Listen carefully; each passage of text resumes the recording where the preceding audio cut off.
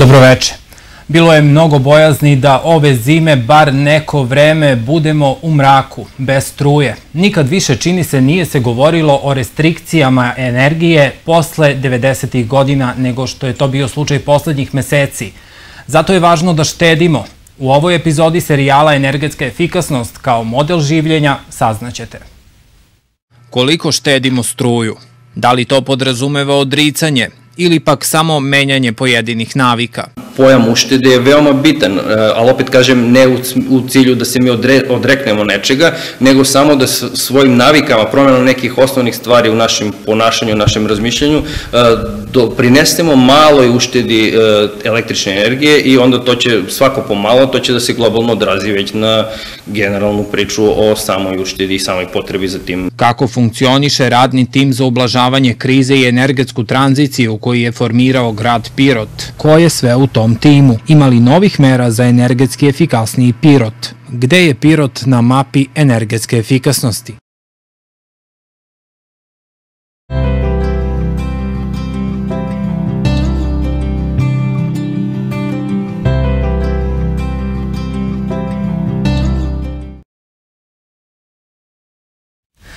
O svemu ovome u ovoj emisiji razgovaram sa gradonačelnikom Pirota Vladanom Vasićem. Hvala vam na vremenu za ovaj razgovor. Hvala i vama na pozivu. I evo, ako se slažete na početku da pogledamo šta piroćanci kažu, koliko e, štede struju. Trudimo se da štedimo koliko je to moguće, naravno kod e, boljera, znači trudimo se da ga uključujemo samo toko noći. Naravno svetla se gase svuda gde je nepotrebno. Primjećuje se smanjenje malo utroška u odnosu na prošlu godinu, nije to nešto mnogo, ali neko neznatno smanjenje postoji. Štedimo kako možemo. Isključujemo nešto što ne treba grejanje, kad je da ne, da ne bude pretoplo. Kad je hladno upalimo, tako da struju, sijalice, štedimo sve što je to.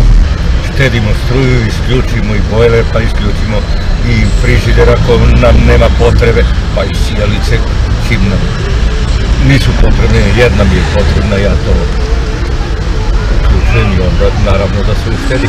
Poštujem preporuke za struja štedija, štedim tako što ovaj, samo kad je najneophodniji uključujem eh, električne aparate koje su mi potrebne. Naravno, to si u tradiciji piroćanaca, znači struja se štedi najbolje kada se skupi potrošači, bojler, veš mašina, pala je najjeftina struja. Znači to je više vekovna tradicija u mojoj porodici to je jedini način znači, koji možemo da štedimo. Znači, da se ne ponašamo bahato prilikom potrošnje struje, znači da Pa pomalo. Nešto posebno ne štedimo, koliko, koliko je potreba, toliko je to, mora tako, ne može drugačije. Možemo da štedimo, ali moramo na drugu stranu da od, odvajamo za neke druge stvari. Većinom, recimo, na električnu špore to ide bojler koji će najveći potrošači, to je normalno, znači to je. Evo, gradonačelniče, čuli smo šta kažu e, neki od građana Pirota sa kojima smo mi razgovarali, a koliko se štedi u gradskoj upravi? Imate li te neke prve podatke? Da, naravno, mi i štedimo i to posetioci gradske uprave mogu i da vide, a imamo i podatke.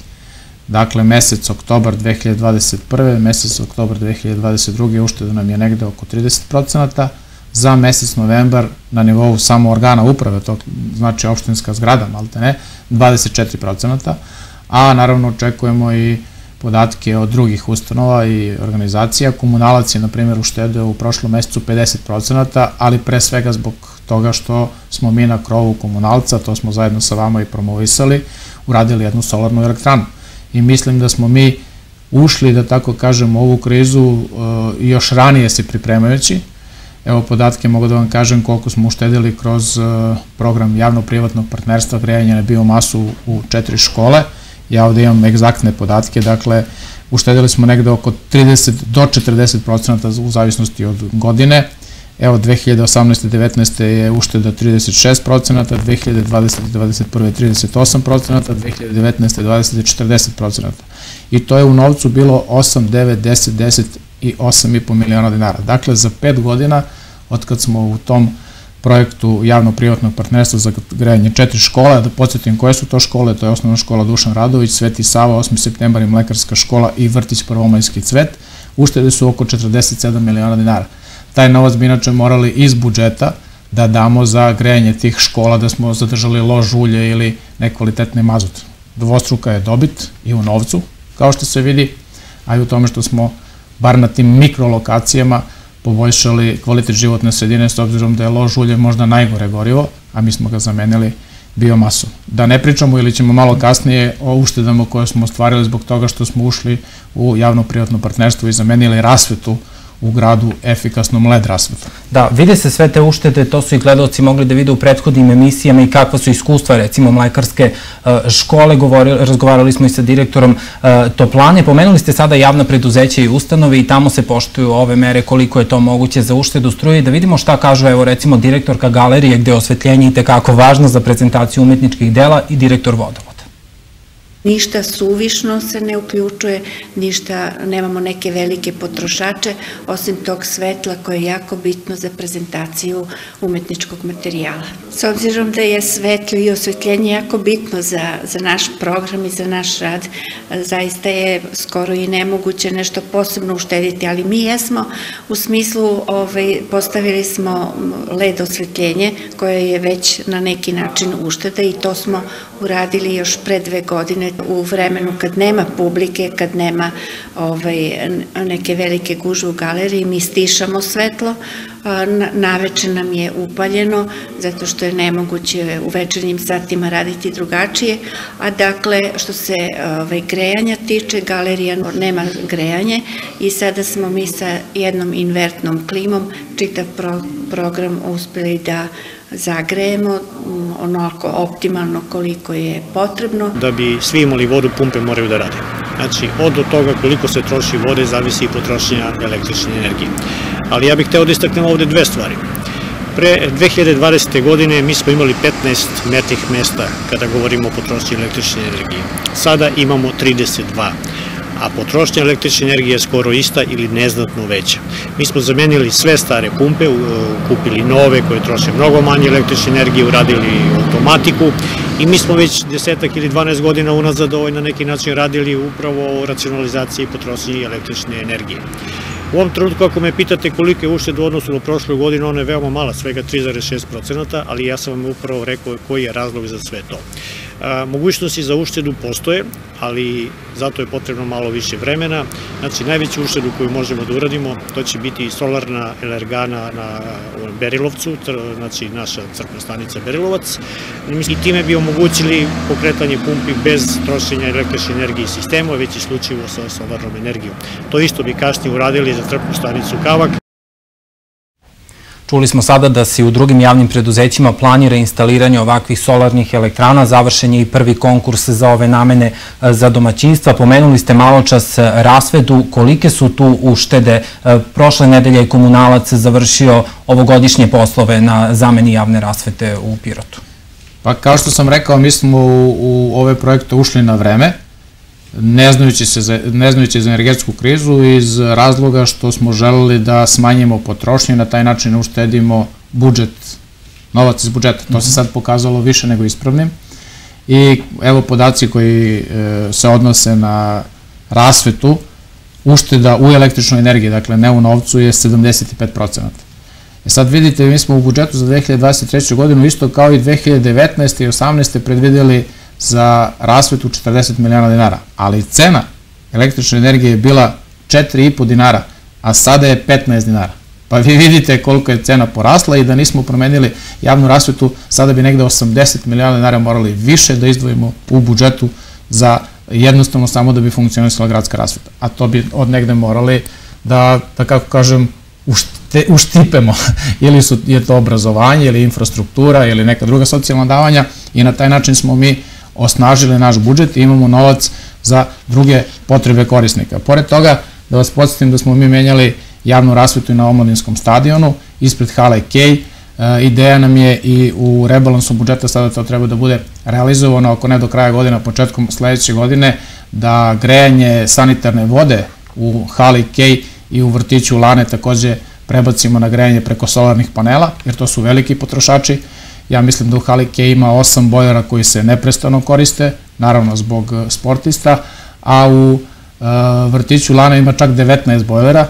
Sledeća neka ideja nam je da na omladinskom stadionu to promenimo i obavezno na gradskom stadionu. Na gradskom... Već ima solarnih panela na zatvorenom bazenu zapravo. To Tako je, na zatvorenom bazenu ima solarnih panela za grejanje sanitarne vode. Na otvorenom kupolištu su takođe, možete da vidite na onom objektu koji će biti restoran postavljeni solarni paneli. Samo da dovršim ovu rečenicu, na gradskom stadionu postoji jedan ogroman bojler koji, čini mi se, 300-400 litara vode zagrava. Zamislite koji je to potrošač električne energije. Dakle, mi smo ušli na vreme i to ćemo da nastavimo dalje.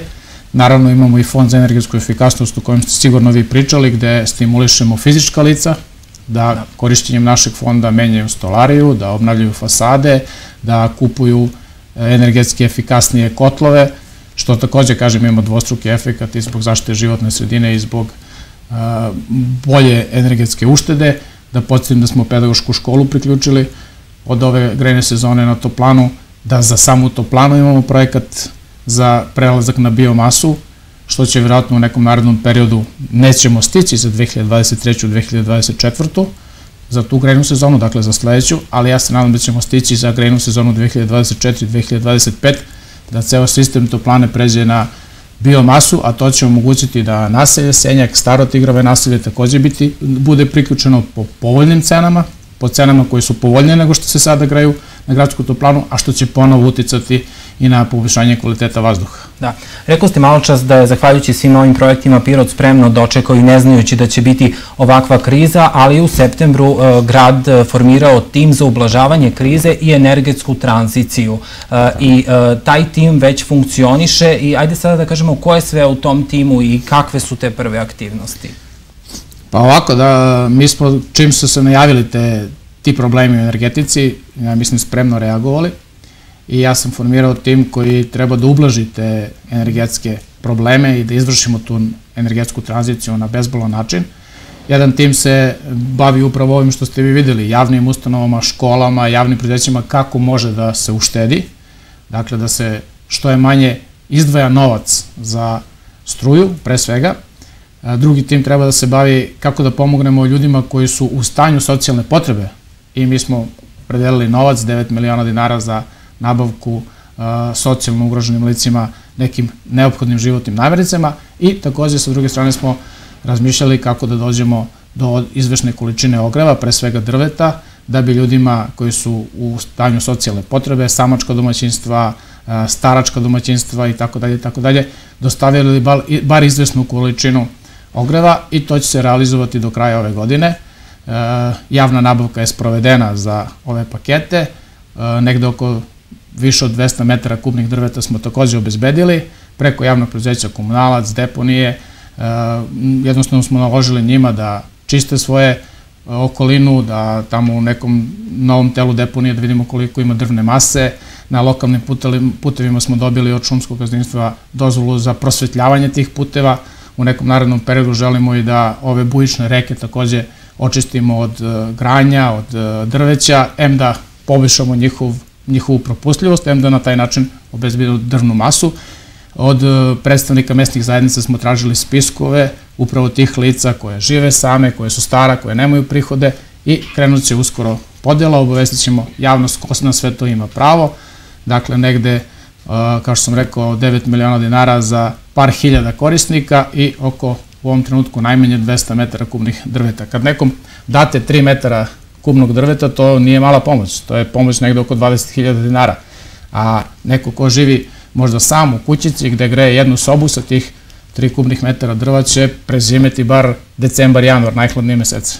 Da, pomenuli ste u septembru kada ste govorili o formiranju ovog tima da će tim merama biti obuhvaćeni i penzioneri koji imaju najmanja primanja, a njih je oko 4800 Biće obuhvaćeni, obuhvaćeni penzioneri koji imaju ispod 20.000 dinara mesečnih primanja i svi oni koji su u stanju socijalne potrebe, od, od kojih dobijemo od Centra za socijalni rad, a i od predsednika mesnih zajednica, rekao, više puta sam rekao, staračka i samačka domaćinstva. Nekad je domaćinstvo koje, u kom živi sam čovek mnogo veće, u većoj socijalnoj potrebi nego neki penzioner i njemu treba, ali neki penzioner koji ima ispod 20.000 dinara, ali ko, koji možda živi sa čerkom ili sa sinom, pa, pa se oni brinu o njemu. Uh, vidjet ćemo do kraja godine kako će sve ovo biti realizovano, ispratit ćemo i u informativnom uh, programu. Pominjali smo i tokom ovog serijala sve mere energetske efikasnosti koje se već nekoliko godine realizuju u Pirotu. Hoće li sve mere biti uh, i naredne godine, imali nekih novih možda?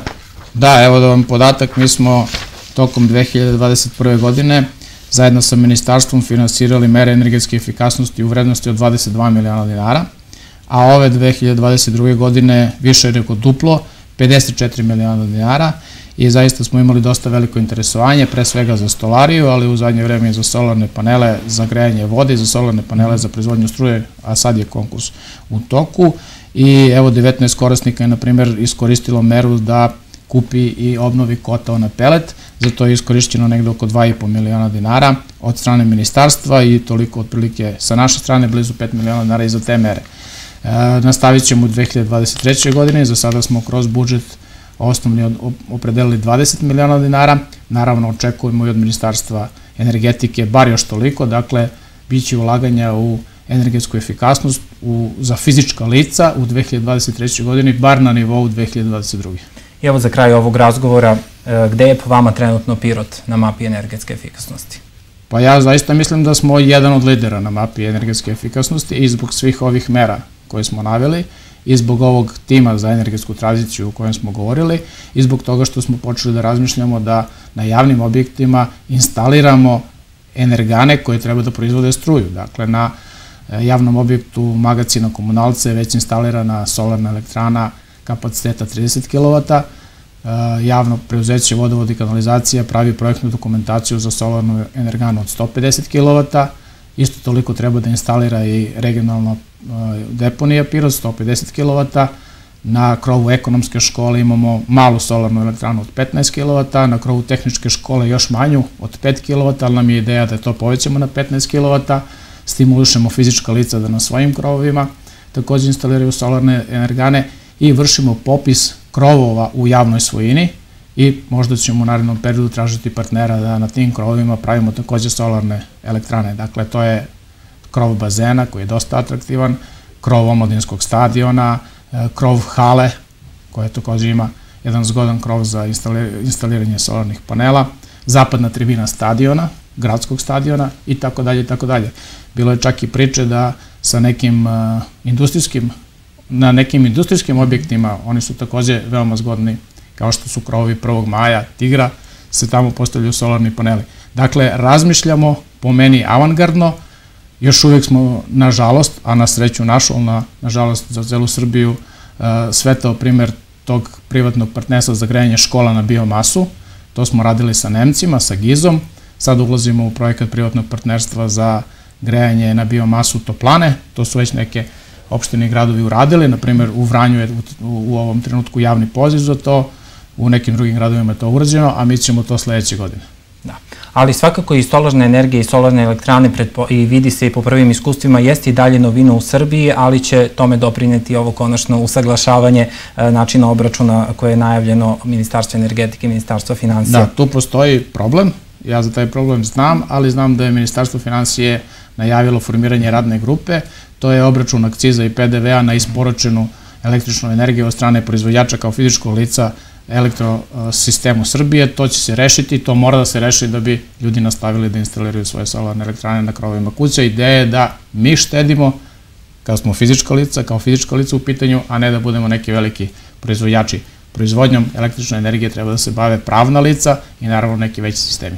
Hvala vam mnogo na, na ovom razgovoru i gostovanju. Hvala i vama. A mi kao i u svakoj emisiji i e, za kraj ove imamo savet profesora stručnih predmeta u tehničkoj školi Bojana Ćirića. Svakodnevno svi koristimo laptopove, desktop računare i mobilne a, e, telefone, pa kako da uštedimo sada sa tim uređajima?